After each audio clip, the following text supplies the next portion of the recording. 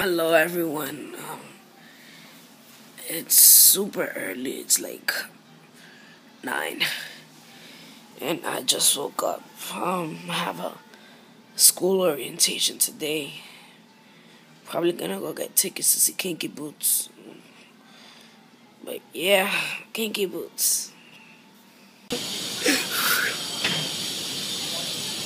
I'm at the Al Hirschfeld Theater. I'm probably might see Kinky Boots at 8 and Billy Porter isn't performing.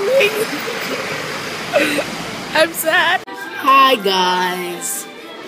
Here downtown, about to go see Kinky Boots the musical, having a little lunch. So excited I won the Kinky Boots lottery and I got to see the show for only $37 instead of wasting like $100 on the show. Thank you, Jesus. We are at intermission here at the Al Hirschfeld Theater.